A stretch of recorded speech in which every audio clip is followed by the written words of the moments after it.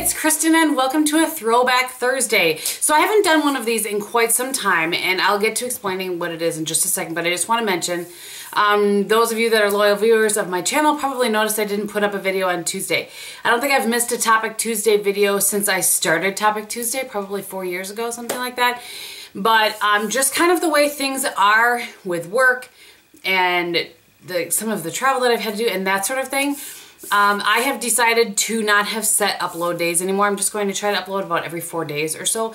And so it may fall on a Tuesday. It may not. If it does, it will of course be Topic Tuesday. Um, but yeah, I just, sometimes I just need to adjust things a little bit. Um, and yeah, that's what we're doing right now. We're just going to see how it goes. But I'm not going away, I promise. All right. So, um, Throwback Thursday is actually something that was created by Marnie from Ms. Gold Girl. And I was doing it regularly and then just it just didn't work so that's another reason why I'm changing things up because this is actually a video I really enjoyed filming and just kind of got away from it due to time and, and that sort of thing. So I go back, I have chosen to go back two years and I, I look at my favorites from that month and come back and talk to you guys about them. The other thing I was doing was kind of trying to keep these towards the end of the month, like with the favorites and empties and that sort of thing. But I, I, don't know why I was doing that. I don't think it's really necessary to keep it at the end of the month. So I'm just going to do it at some point in the month when it happens. If you guys still enjoy these. If you're sick of these, then let me know and I won't do them anymore. So, but I really enjoy filming them.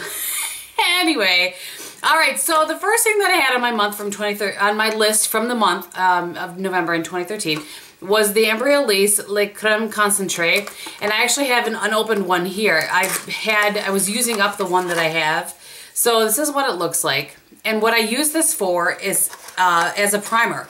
I had seen makeup artists talk about it.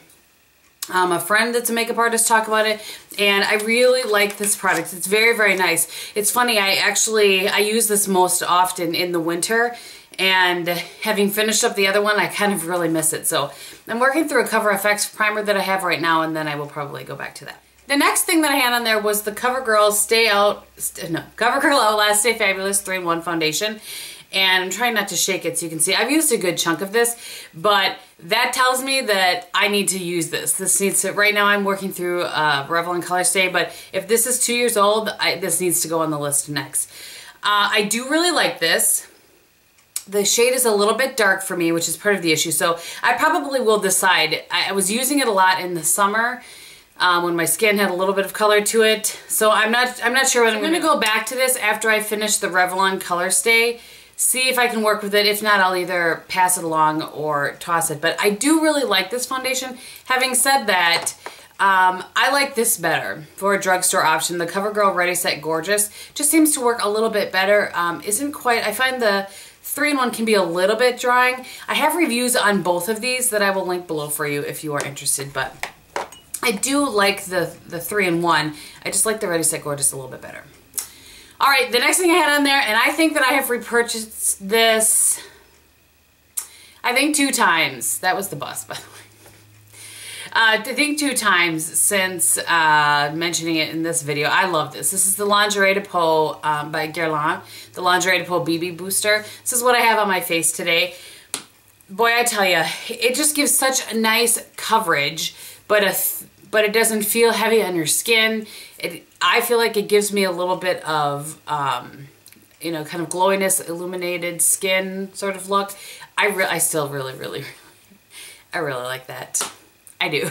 uh, and then the powder that I talked about was the IT Cosmetics Celebration Foundation. It was the original. And how I talked about using this is still the case. I still use it with a fluffy brush over a foundation that um, has a good enough coverage, or I'll use it with more like my Sephora 55, if I, have, I do have one here, like my Sephora 55, a little more dense brush, if I want a little more coverage from the powder, if the foundation doesn't have as much coverage. I always set my foundation, well, I shouldn't say always, but 80% of the time I set my foundation with a powder foundation just to give enough coverage that I like. So um, I have the shade in light medium and I still like it like that. I don't like it on its own. I've mentioned that a couple of times now. I really don't.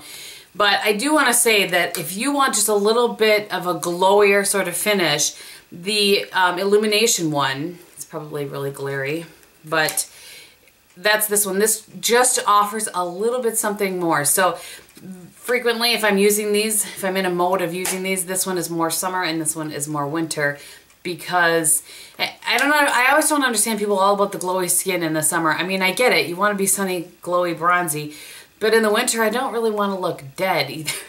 anyway, I use the, for me, I use this one in the winter and I use this one in the summer. Okay, next I have a couple of face products. And what's so funny is that I just finished filming a Four Looks 2 palettes that you will see here in a few days.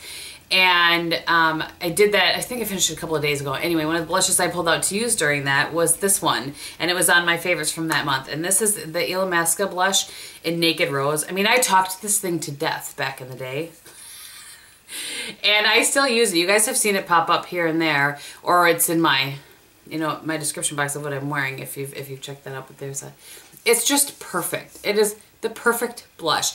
I can't imagine a skin that that doesn't this doesn't look good on. I love this blush. Absolutely love it.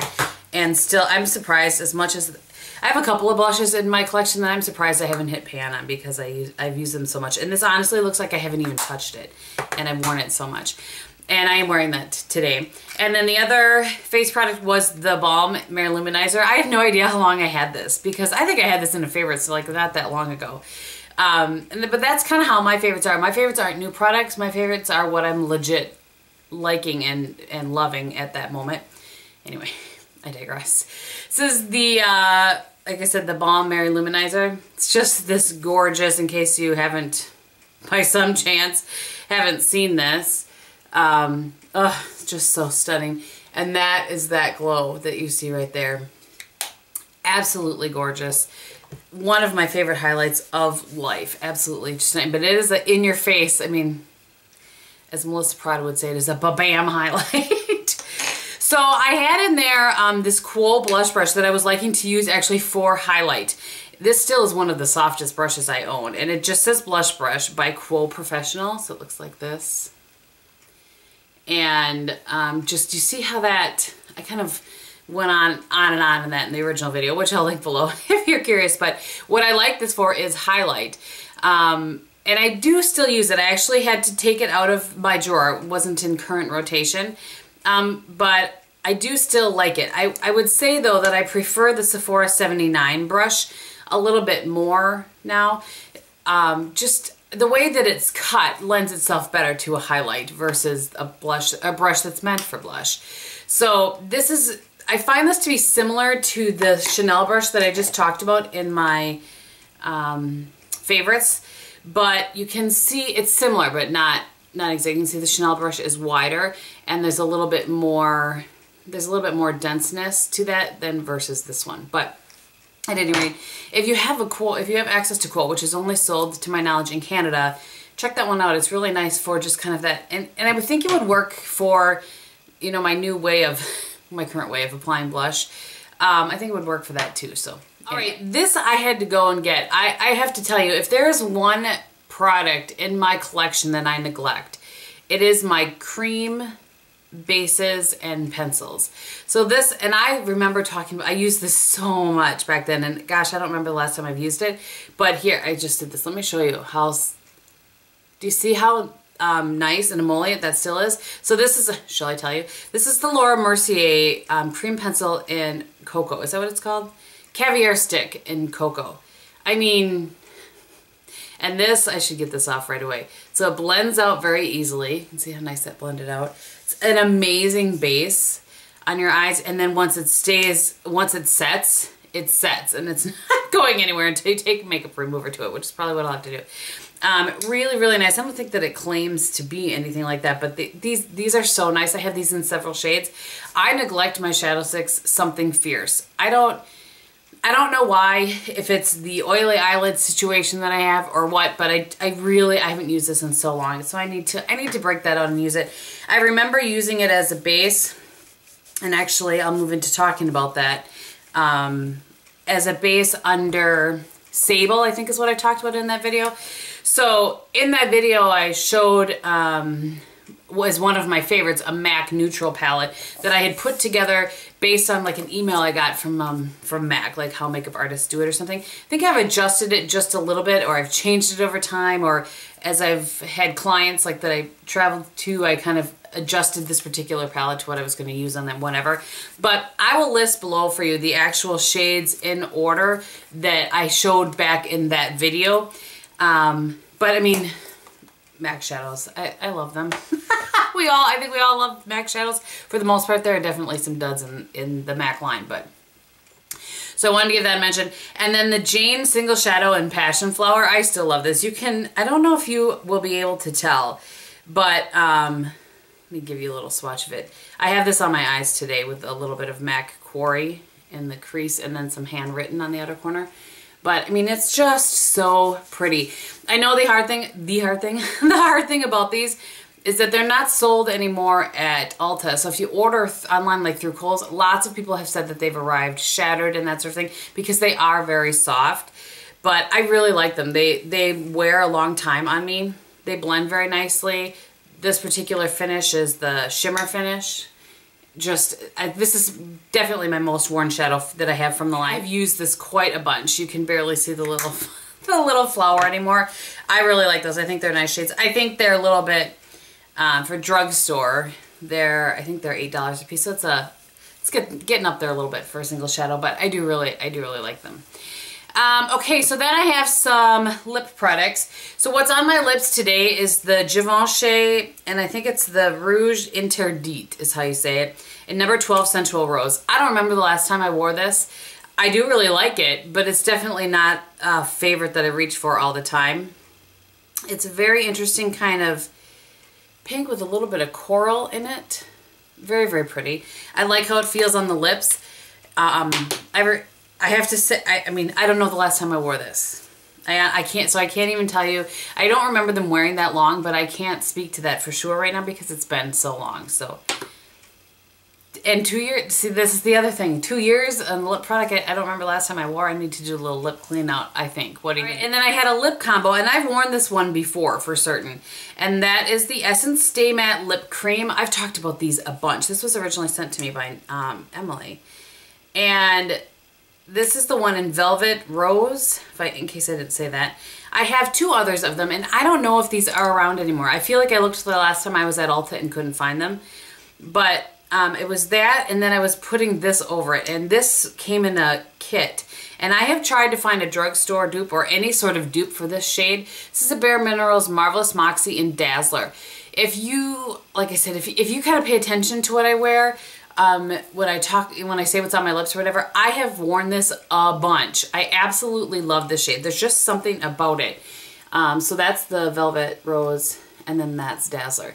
And those two combined just have a, it's a really pretty kind of pinky peach nudie sort of lip. Uh, and I do, I've worn, I have definitely worn those. Those are still favorites. The last thing that I had on there was NYX um, the NYX lip gloss in Salsa. I got rid of almost all of my NYX lip glosses. I think I only have two left because I just had had them for so long it was just time for them to go. So I don't have that one anymore, but I do I do like the NYX lip glosses still, but if you don't like, they kind of smell like cherry cola or something, I don't know. If you don't like a scent, you will not appreciate those. So I hope that you enjoyed this little trip down memory lane to uh, November of 2013. Some things were still favorites, some things not so much, and some things I've been neglecting. So like I said, this is one of the reasons why I really like these. Do let me know if you still enjoy seeing these. I will continue to do them if you like them. But if you guys are like, we're over it, that's fine too. Just let me know kindly and gently. Um, and yeah, I think I've told you everything that's on my face because I tried to wear everything that was in my favorite. So thank you so much for watching. I hope you're having a great day and I will talk to you very soon. Bye.